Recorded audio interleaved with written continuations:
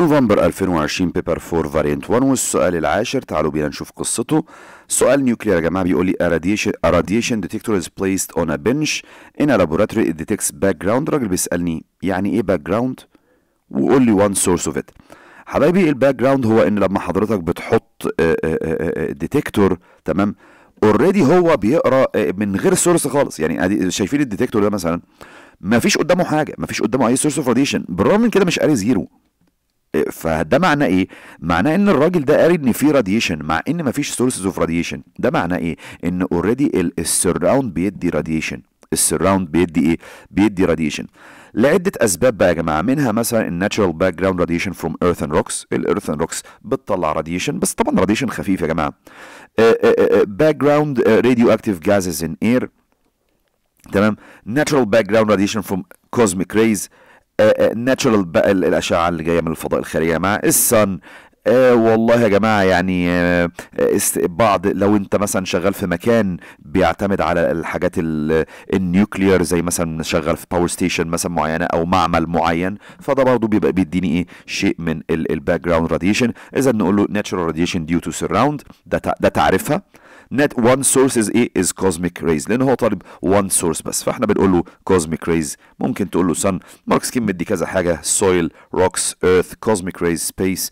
Sun weapon testing radon أحد ال gases ال radioactive اللي موجودة في ال air nuclear wastes دي إجابة هذا السؤال.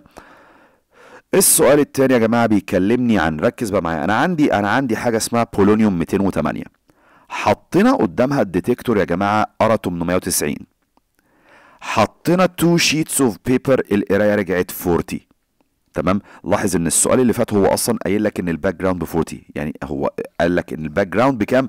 ب 40 خلاص؟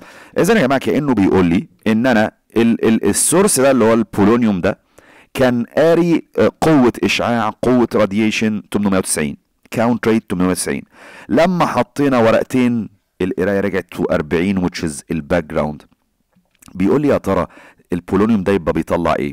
حبايبي الألفا هو الحاجة اللي stopped by paper ما هو معنى كده يا جماعة إن إن إن إن الورقتين دول شفطوا كل ال radiation اللي خارج من هذا البولونيوم. مين ده يا جماعة؟ قال لك ده الألفا. ما هو الألفا هو اللي ما بيعديش من paper alpha particles are stopped by a paper. ودي إجابة هذا السؤال آه، الجميل. السؤال اللي بعده سؤال مباشر لأبعد مما تتخيل بيقول لي بولونيوم 208 is represented by بولونيوم 84 atomic number mass number 208 قال لي هيطلع الفا ممكن تقول لي بقى طلع لي منه الفا is represented by write uh, uh, down the nuclear equation for the decay of polonium تمام؟ طبعا إحنا قلنا إنه هيطلع ألفا. فبولونيوم 84 208 الألفا بتاعتنا يا جماعة اللي هو 204 آه 2 آه 2 atomic number و4 mass number. طبعا هو قال ان هو هيطلع lead. هو اللي مديني أهو ال symbol بتاعه مديني كل حاجة.